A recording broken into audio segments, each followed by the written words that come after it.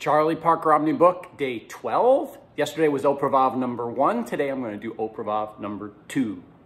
Uh, here we go.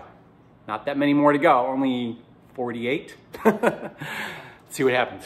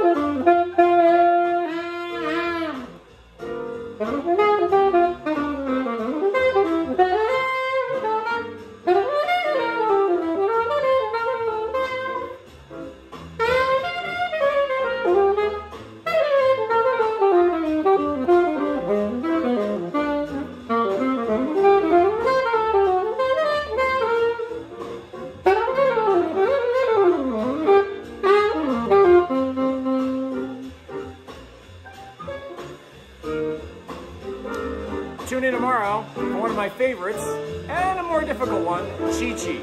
I'll see you then. Bye, guys.